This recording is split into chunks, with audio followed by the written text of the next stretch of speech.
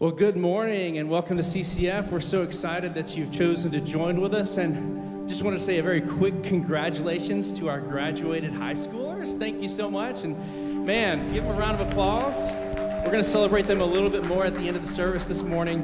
Why don't you stand with us? We have so much to celebrate, so much to be thankful for. Pri- um, mainly the love that came down to save us from our sins. So let's celebrate this morning and sing about that love that came down. I will sing forever of your love. Come down with my hands to heaven. Shout your praises loud. I was lost in darkness when you pulled me out. I will sing forever of your love. Come down. Whoa, whoa,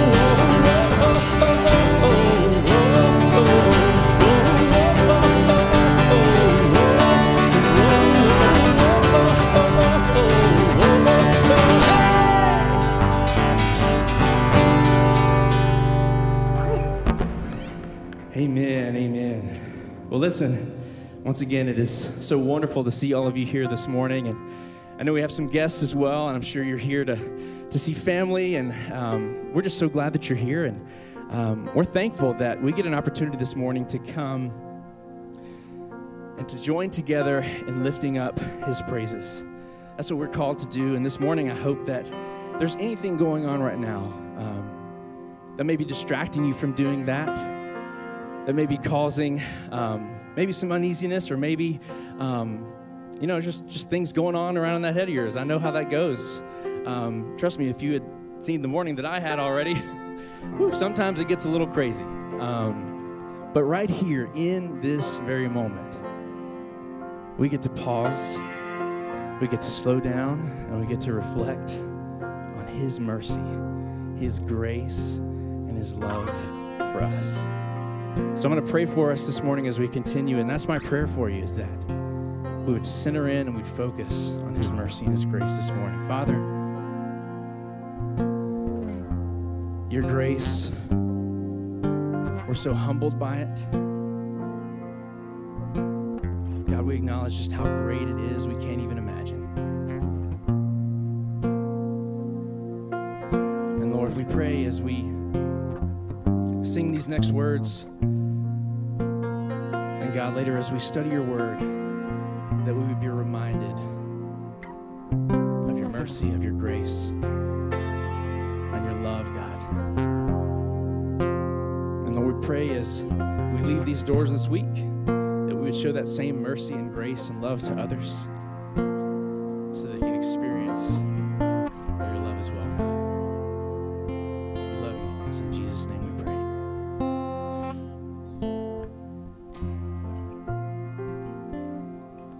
Praise the Lord. His mercy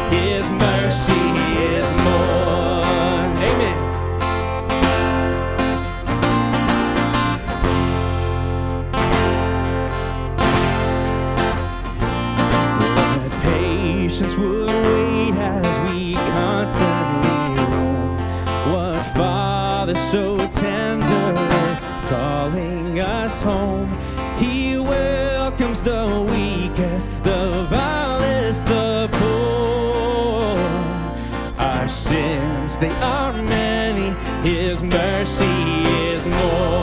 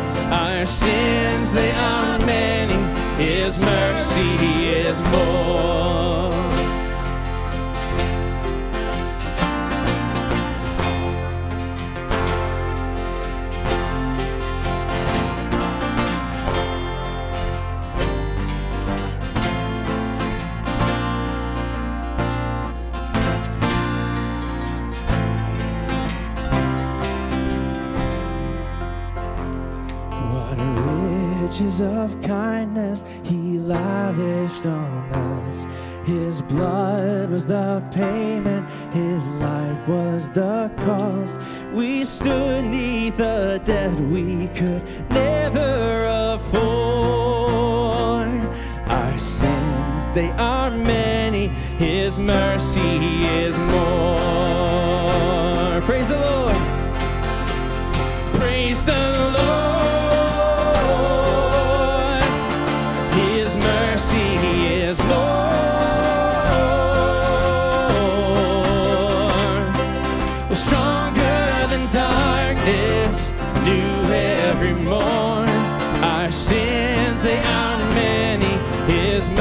Mercy is more. Praise the Lord.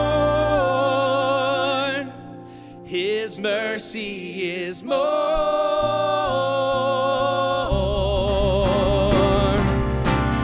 Good in darkness, new every morn. Our sins, they are many. His mercy is more. Our sins, they are many. His mercy is more.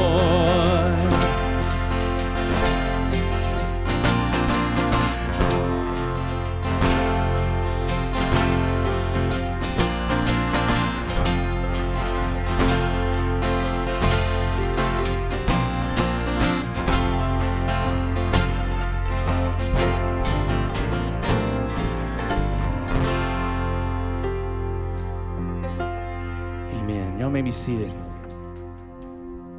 At this time, we're going to ask our ushers to go ahead and begin passing out the elements of communion. And as the song is being played, we ask that you hold on to those. And then at the end, we're going to come out and we'll take communion together.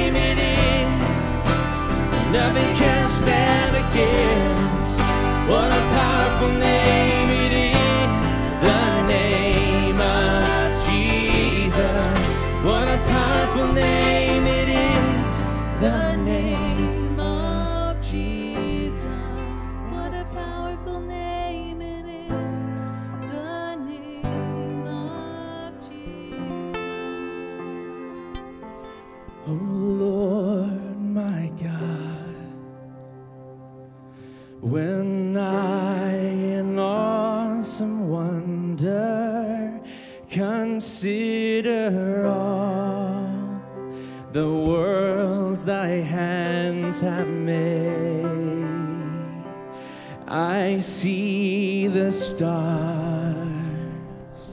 I hear the rolling thunder, thy power throughout the universe display. Then sings my soul, my Savior God great thou art! how great thou art. Then sings my soul,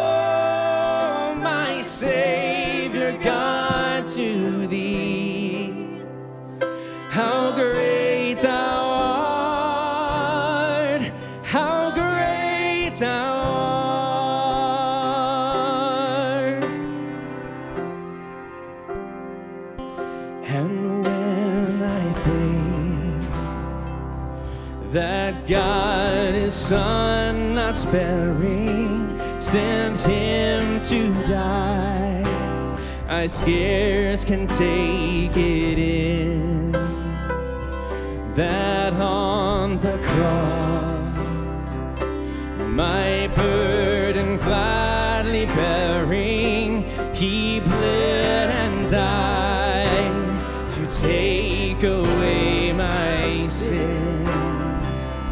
Then sings my soul, to thee. How great thou art! how great thou art. Then sings my soul, my Savior God to thee. How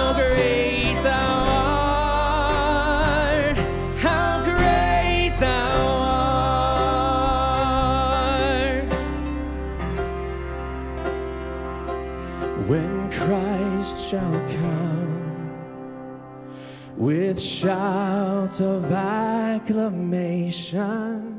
and lead me home.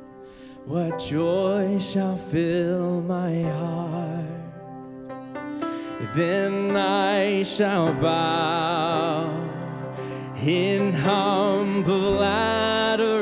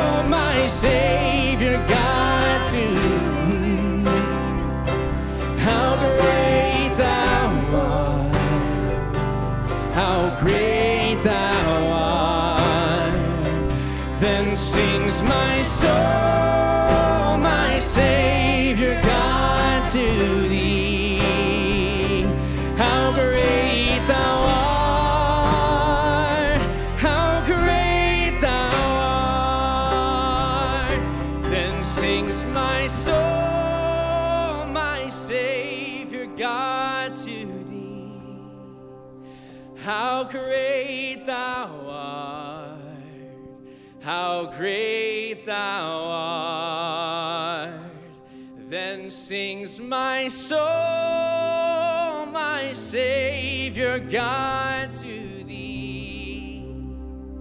How great thou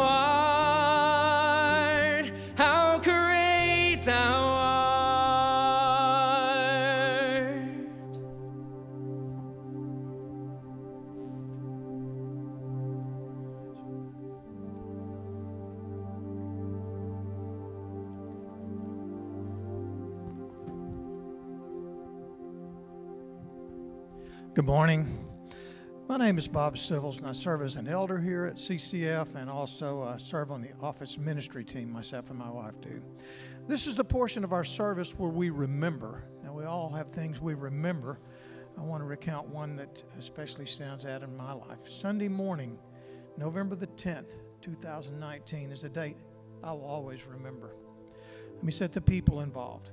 Our daughter, Mandy Ford, and her husband, Jeremy, their oldest son, Drake, who's 17 at the time, and two autistic twin nonverbal boys, Hayden and Pierce Ford, that are 15. Jeremy's parents, who live in Clarksville, Arkansas, Dennis and Shirley Ford, and of course, Dee and myself. The situation is this Jeremy and Mandy have just purchased a new home for the family, and the two of them, plus Drake, the older child, are moving and unpacking. Now, let me tell you, having two nonverbal 15 year old twins with autism is not conducive to unpacking and moving. So, Jeremy's parents, Dennis and Shirley Ford, are keeping Pierce in Clarksville for two nights, and Dee and I are keeping Hayden at our home. Here's the timeline 6 a.m., Shirley Ford, Jeremy's mom, calls him in a panic and is hysterical as she tells him, Pierce is not breathing. He's gone. I'm so sorry. I think he's gone. Jeremy tells her to call 911, which she does. Mandy and Jeremy decide that Pierce must have died with, from a seizure. Sometimes people with autism have those early in the morning. 6:13, 3 minutes later, Jeremy calls us with the horrible news. We're devastated. Jeremy and Mandy and Drake get in the car and start the drive to, from Springdale to Clarksville. Many tears are now being shed over the loss of their son, and at our house, our grandchild. Hayden is with us. He doesn't understand what's going on. He doesn't understand he's lost his brother, but he's literally wiping our tears with his fingers. 6:40 a.m. Mandy calls and tells me that the EMT has arrived and spoke to her on the phone and confirmed he's passed. There's no need to hurry. Nothing more can be done. More tears are shed at the tragedy of the situation, and I'm absolutely helpless to try to consult by phone a daughter that's lost a 15-year-old son. 6:45, 5 minutes later, Jason Jeremy's brother who also lives in Clarksville has arrived at the Ford house first and finds that Pierce is alive, moving around freely. He then observes that Dennis, his 70 year old father, is dead in his chair, apparently died there during the night. Jason calls Jeremy to tell him of the situation, and Jeremy, now in one sentence, realizes for the first time that he has not lost a 15 year old son, but he has lost his aged father, who is a retired preacher. No one to this day is quite sure what caused Shirley to call the wrong name in her hysteria. 702, Mandy calls me back to inform me of the miscommunication. We're both relieved at the news of Pierce, but devastated by the death of Dennis. Everyone is confused, saddened, and relieved all at the same time. This was the most excruciating hour of my life. Trying to cope with losing a grandson and attempting to comfort a daughter by phone with the loss of a son is a pain I would not wish on my worst enemy. My wife and I have yet to get over the feeling of losing a 15 year old grandson, even just for an hour. I don't have any trouble remembering November 10th, 2019, and it's not fun. But here at CCF, each week, we get to remember what Jesus did for us. Let's remember. I'm reading from 1 Corinthians 11, 24, and 25 out of the Contemporary English Version. On the night that he was betrayed, Jesus took some bread in his hands. and after he had given thanks, he broke it and said, This is my body, which is given for you. Eat this and remember me. Take the bread.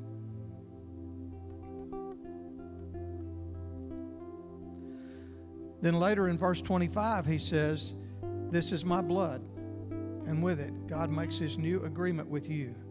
Drink this and remember me. Take the cup. Let's say together the Lord's Prayer. Our Father,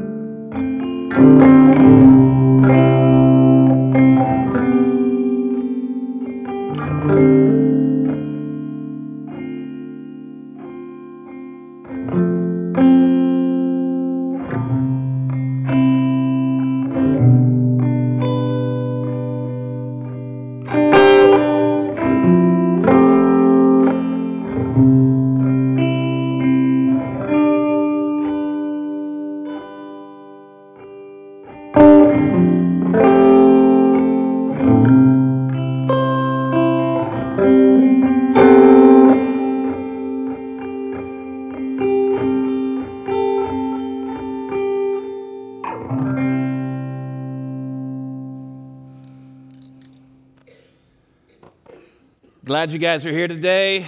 Welcome to our newly minted high school graduates. That's pretty cool. And their families, thank you guys for being here today.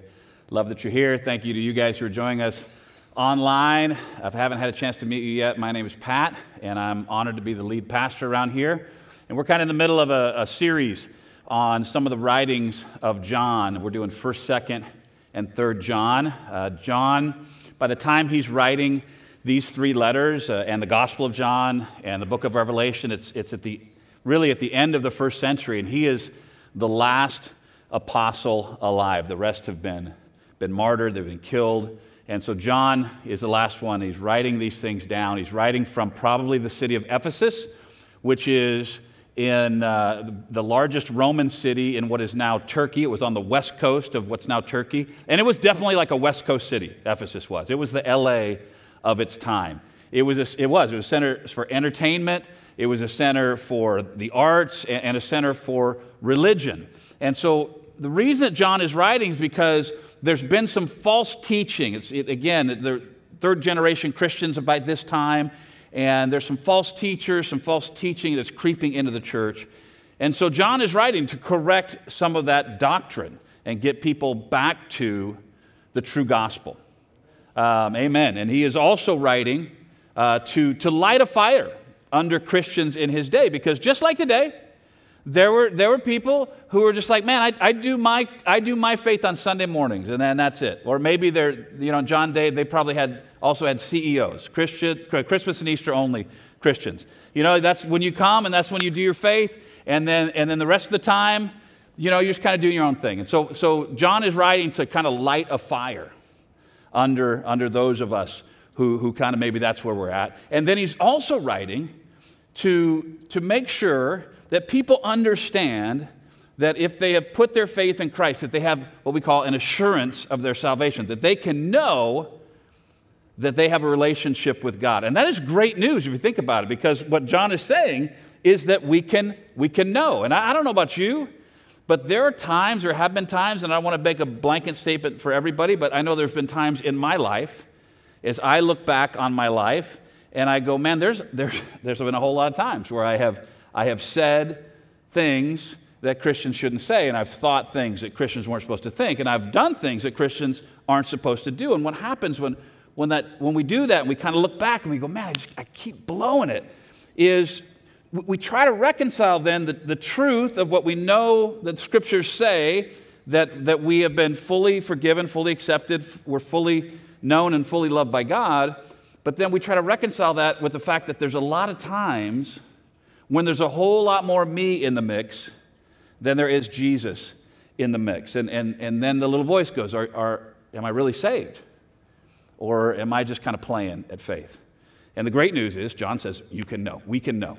We can know whether or not we have a relationship with Christ. I'm going to jump into that right after I read this scripture for the morning. So I'm going to invite you to stand as we read God's word and then remain standing for prayer. This is 1 John chapter 3. I'll start in verse 11. This is the message that you have heard from the beginning that you should love one another.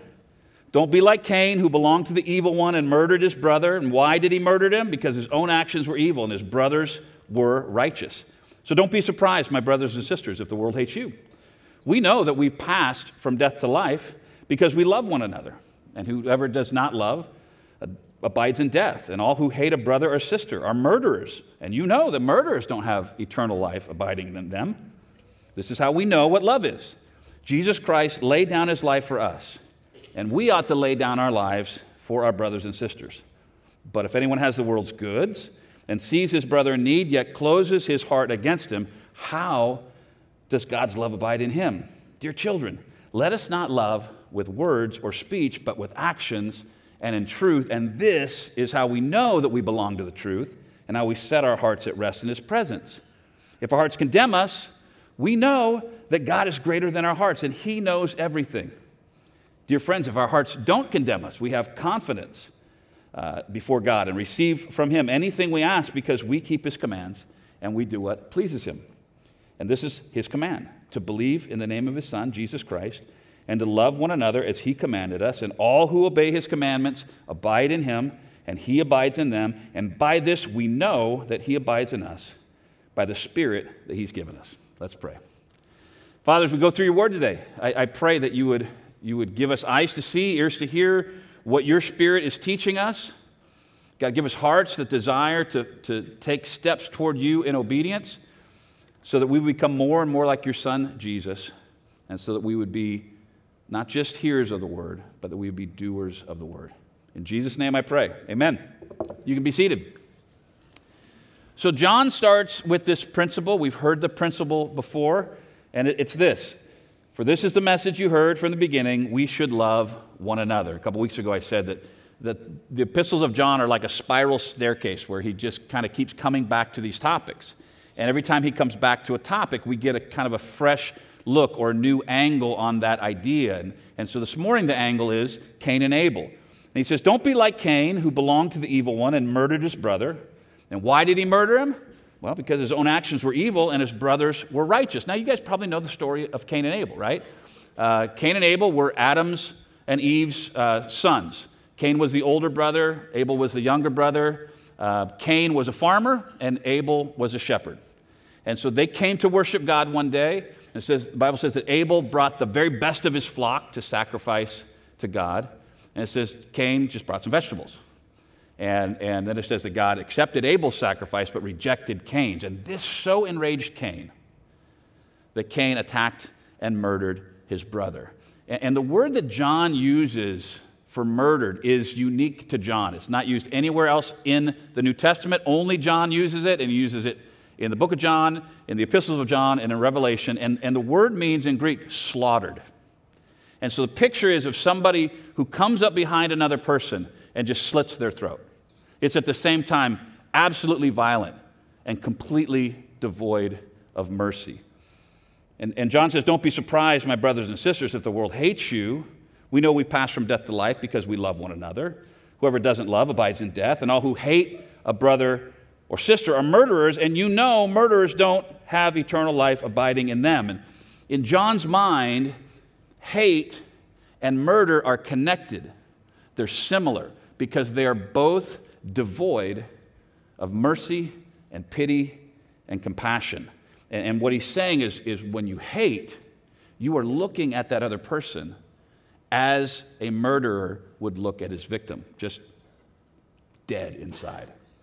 Now, the great news is this morning, I'm pretty sure, looking out at all you nice people, that nobody in here probably hates anybody else. And I'm, I'm, I'd bet good money that it's unlikely that you're sitting here today and you're a convicted murderer, right? So we're good. We're like, this is one of those passages where, like, finally, John's saying something that I can check the box on. Except that John's not cry, trying to create a checklist. He's not trying to say, well, as long as you don't murder your brother and choke out your sister, you're good. And the reason we know this is because the word he uses for hate, it's a Greek word misio, and it also means to disfavor or disregard or to love less. And so when you read about hating your brother and sister, it also means if you disregard them or you love them less, if you show favoritism to, to these people but not to these people, if you have conflict with somebody and you just shine them on, you don't care. If you say that's a you problem, that's not a me problem. If you say, well, I, I really love these people, I don't know about these people. And all of us at times probably have fallen into one of those spots. Because again, if John's only talking about murder and hate, if he's even talking about despising and detesting people, we're good. But it's more than that. And he's saying that, it, that in those moments when we disregard people, when those moments when we love them less, in those moments, we're not abiding. Eternal life is not abiding in us because we are not abiding in Christ. Now, let me clarify John's not saying that you can lose your salvation. Because for John, eternal life is about the abundant life of Christ that starts at salvation and moves on into eternity. And he's saying that when you, when you put your faith in Christ, you are granted eternal life. But when you aren't abiding in Christ, you're making, you aren't making life choices, you're making death choices because you're not abiding anymore. You're disconnected from the vine. Now, then he says, Let me show you, let me give you an example of what this kind of love looks like. He says, This is how we know what, what love is. Jesus Christ laid down his life for us, and we ought to lay down our lives for our brothers and sisters. But if anyone has the world's goods, and, and that means financial means, if anybody has financial means, and, and again, unfortunately, we're not let off the hook on this one either, because in John's world, even those of us who have the least amount of financial means in this room would have been considered well off in John's day. So again, John's talking to all of us. If anyone has the world's goods and sees his brother in need and yet closes his heart against him, how does God's love abide in him? And it's, a callback to this same idea of hatred and murder. If you see a brother or sister in need and you have the means and the opportunity to do something about it, and yet you choose not to, you choose to close your heart, you choose to, to not have any pity or compassion or mercy for that person, you, he's saying you're displaying the same kind of lack of mercy that a murderer does or somebody who hates somebody else does. He says, Dear children, let us not love with words or speech. He's not saying, Don't say I love you, but he's saying, Don't just let, that shouldn't be the only thing. Let us not love with words or speech, but with actions and in truth. Now, let me give you an example of, of what that looks like. Back in the day, when you would want to go to a concert, you would go and you would buy a ticket, and they would give you a paper ticket. Some of you who are younger here today, you've never seen one of those. You've read about them, maybe you've seen them in a museum. Okay? But back in the day, they would give us a paper ticket. And you would take that ticket with you to the venue. And you would hand them the ticket, and they would tear off a thing, and they would hand you back what was called the stub. You know what I'm talking about? Those of you, yeah, okay. Charlie knows what I'm talking about. He's been to plenty of, plenty of concerts in his life. So you get this stub. Now, if you show up at the venue and you have the ticket, but you don't have the stub attached to the ticket, they're not going to let you in because it was the stub that validated the ticket. So the ticket is like our faith. You're not saved by the stub, but it's the stub that validates the ticket. It's our, it's our good deeds when we are acting on our love that validates our faith. It's our good deeds that show that our faith is genuine. Does that make sense? You follow me? Now, at this point, if you're kind of tracking with what John is saying, and he's not letting any of us off the hook, you know, I don't know about you, I kind of start squirming when I read these messages, these, these words, because even though I've never hated anybody, I don't think, I know I haven't murdered anybody for sure, okay? Take that one to the bank. There have been times, there have been times where I've treated people with disregard. There have been times when I've loved people less. There have been times when I've seen a person in need and I've had the means and the opportunity to help them and I've chosen not to. And I know probably for some of you, as you look back over your life, you're like, man, there have been times where I've thought things I shouldn't have thought, looked at things I shouldn't have looked at, said things I shouldn't have said, done things I shouldn't have did. I know that's not correct grammar, that's okay. And, and then doubt kind of starts to creep in, and a little voice in your head says, Well, what kind of Christian are you? Because you do those things. And so, in the, in, the Holy Spirit anticipates us squirming a little bit he anticipates the enemy trying to get us to lose hope. And so, under the inspiration of the Holy Spirit, John writes these next words and he says, This is how we know that we belong to the truth and how we set our hearts at rest in his presence. And what this is called is a term called assurance of salvation. This is how you can be sure that you are saved. This is how you know that you're saved. This is how you know you have a relationship with God. And I love this because we can know. Isn't that great? Isn't it great that you can know if you're saved? It, it, even when doubt creeps in, even when doubt creeps in. And, and, again, you're, you're dealing with the paradox of, you know, I, I know what the Bible says about who I am in Christ. I'm fully forgiven, fully accepted, fully loved, fully known by God, and yet, uh, I, I wonder because I know what I'm like. And the reason we feel that way is because we've experienced both sides, right? We've experienced these amazing times when we have spiritual victory. We've made choices that were right. We've resisted temptation. We're like, yes. And we also have these times in our life where we have absolutely crashed and burned. And we live most of our life in the middle, looking at our potential and our often reality.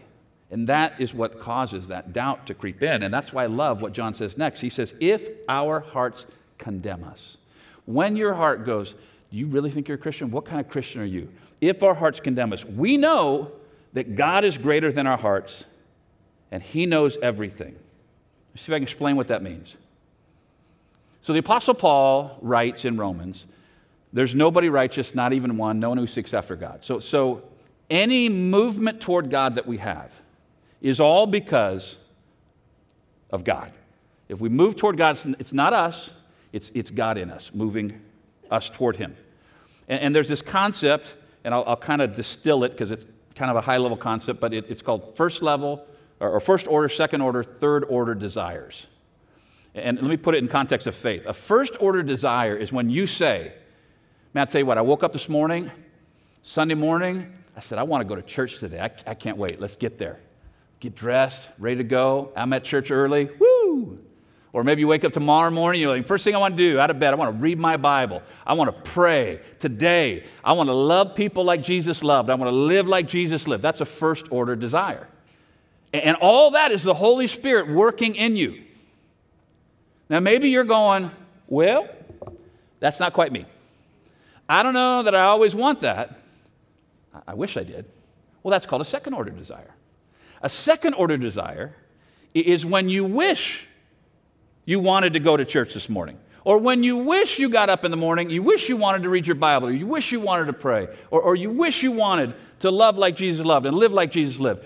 But even that, even that is the work of the Spirit in your life because, again, you're moving towards God. And you go, well, you know, that's not quite me yet, still, but, but I wish it was. I wish that's where I was. Well, that's called the third order desire. That's when you wish, you wish you wanted to go to church or to, or to read your Bible or to pray or to live like Jesus lived and love like Jesus. But even if you wish, you wish you wanted to, that's the Spirit at work in you. And what John is saying is that even in those times, when those are the times really when your heart starts going, What kind of Christian are you?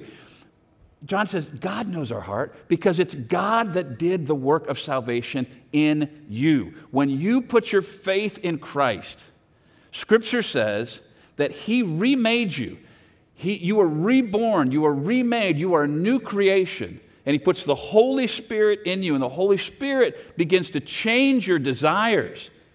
And as you move toward God, even a first, second, or take the win for a third order, order desire, you're moving towards God, and that's the work of the Spirit. So when your heart condemns you, John says, tell it, shut up, because God knows the truth, because the work of salvation is the work of God in you. And he says, Dear friends, if, if our hearts don't condemn us, we have confidence before God, and we receive from Him anything we ask because we keep his commands and we do what pleases him. Now, this does not mean that God is kind of a vending machine where you can just pray and get what you want. What he's saying is, is that as we abide in Christ, as we, as we love like he loved, as we care about the things that Jesus cares about in this world, then we tend to pray for the things that he would want us to pray about. You know, God's not going to answer out of left field, you know, audacious, self serving prayers. But as we abide in Him, He changes us so that even our prayers are things that God would want us to pray. And he says, and this is the command to believe in the name of His Son, Jesus Christ, and to love one another as He commanded us. Believe and love, faith and action, the ticket and the stub. And all who obey his commandments abide in him, and he abides in them. And by this we know that he abides in us by the Spirit he has given us. And we all know the words to the song, right? Amazing grace, how sweet the sound that saved a wretch like me. I once was lost, but now I'm found, was blind, but now I see. And I can tell you, for me, I love that song. But there are days when I wake up and I feel less amazing and more like the blind wretch. And maybe that's you too. And, and, I read this week a quote by an author. I couldn't remember. I went looking because I have a couple books I'm reading right now. But the author said, and he's probably my age, he said, By this time in life, I thought I'd be further along. And I can tell you, after walking with Christ for 45 years, by this time in my spiritual walk, I thought I'd be further along. Because there are, there are things that sometimes I fall into the same old sin. I feel like I'm 15 again, going, What the heck, man? I don't know if you feel that, that way as well. But when that happens, we have to go back to the promise that John gave us in chapter 2. If anyone doesn't, if everyone does sin, we have an advocate who pleads our case before the Father. And he is Jesus Christ, the one who's truly righteous, and he himself is the sacrifice that atones for our sins. So when you put, when I put my faith in Christ, when I did, 1979, July 11th, put my faith in Christ, I was permanently and irrevocably changed by the work of the blood of Christ in my life. And your salvation and my salvation is all a work of God. For by grace you've been saved through what? Faith. Not of works. It's not from yourselves so that we would boast. It's all a work of God. That means, that means you can never be good enough to get it because it's all a work of God. But it also means you can never be so bad that you could lose it. And I'll tell you, if it, I mean, I'm just going to be straight with you. I don't believe you can lose salvation because I believe salvation is a work of God. And, I think if you believe you can lose your salvation, I think you've, you've kind of bought into moralism, and moralism is a false gospel. Uh, you know, moralism is when you, you believe that you were saved by grace alone, through faith alone, in Christ alone, but now after you're saved, you got to work as hard as you can to be as good as you can. And that's not the gospel. Salvation is a work of God, it's all a work of God. For God so loved the world that he gave his only begotten Son, that whoever believes in him should not perish but have eternal life. And when you get saved, Scripture says you are sealed with the Holy Spirit, who is a deposit guaranteeing your salvation. And so, even when your heart condemns you, even when you go, I bet I lost it, because nobody who does what I do, thinks what I think, says what I says, says what I says, says what I say. Went Popeye there for a second. No one who does that gets to keep their salvation. And, and that's where Satan wants you. That's when you go, hey, heart, hey, stupid little voice, it's all a work of God, and God, thank you that you know my heart and you know the work that you've done in my heart because it's all your work. And even if I wish that I wish that I wanted to follow God more with my life, that's the work of the Spirit in you. And John says, that's how you know, because the Spirit abides in you. So, how do, how, do we, how do we bring this all together? How do we apply this in our life? How do we live this out this week and next week and the week after? First thing, and I've said it a million times, and I'll say it more until we're done in the series abide. The first thing we need to do is abide. We need to spend time in God's presence. We need to be mindful of the Spirit's presence in our lives and walk with the Spirit and be led by the Spirit and guided by the Spirit. Understand that wherever we go, He goes. And we're mindful of that as we abide in Him. And then out of abiding comes fruit, which is the second thing that we need to live out of our abiding. We don't try harder. When you abide, fruit is the natural result of abiding. So you don't have to try harder to be better. You, you abide more, and naturally flows out of that those good deeds.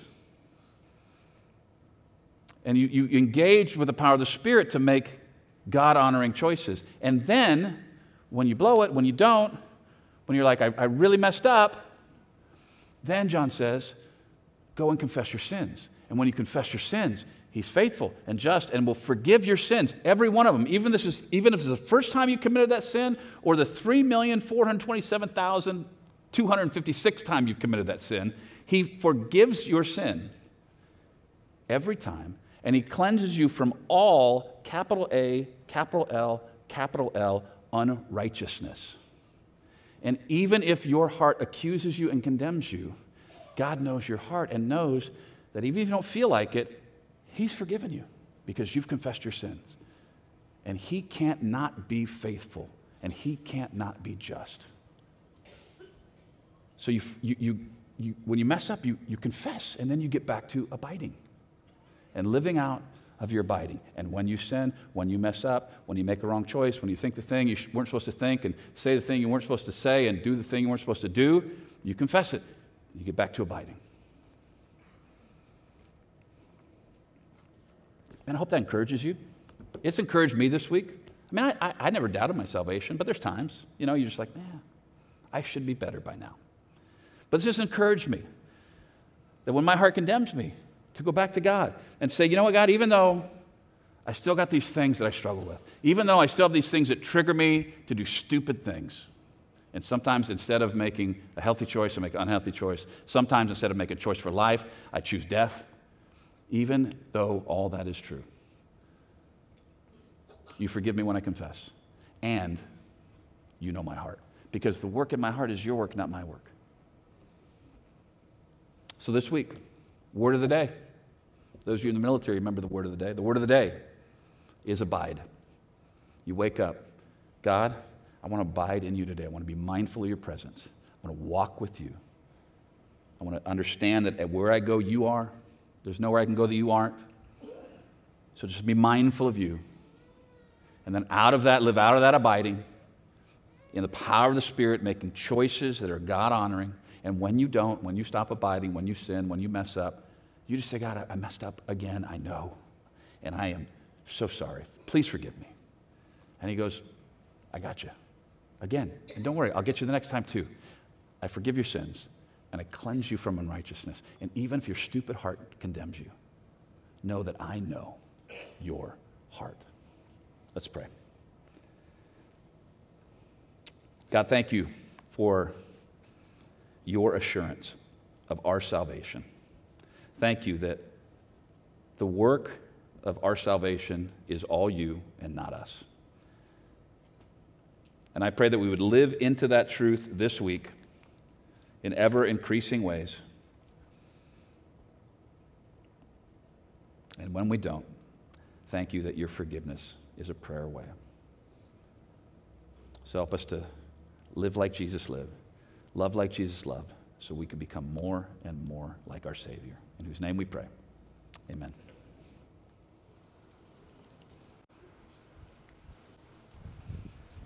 Morning, CCF. My name is Nathan Corder. I'm the student pastor here at CCF. Uh, today's a great day. Today's a wonderful day. We're going to get ready to recognize our seniors. Um, oh, thank you, sir. Um, but before we do that, I want to um, just, we're going to begin with our offering.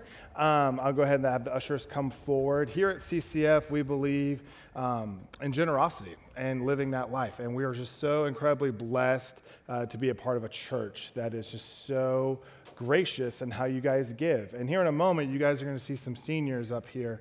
Um, and your giving and your generosity, well, thank you, buddy, um, is directly reflected in their lives. It's such a cool thing to see to have seniors go out into the world after being um, spending time in our care and how um, they were loved and treated here in a church. So it's because of you that we get to have a real significant part in our seniors' lives. So thank you again on behalf of our seniors, on behalf of our church, behalf of our missionaries around the world. Thank you so much for all you do to support us. So if you are a graduate of the 2024 class, I would ask that you please come to the stage, please, at this time. Don't be shy. Give them a round of applause as they walk to the stage.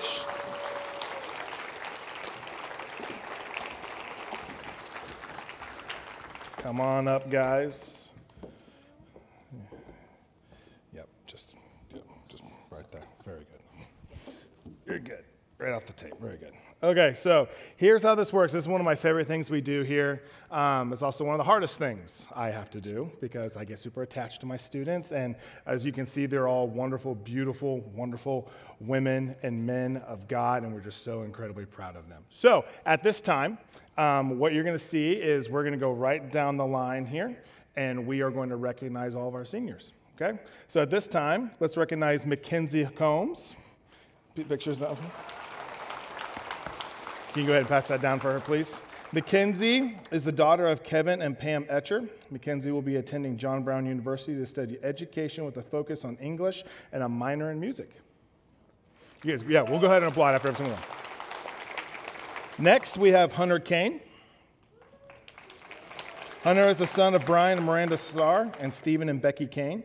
Hunter will attend Northeastern State University in Tahlequah, Oklahoma to study education with an emphasis in phys ed.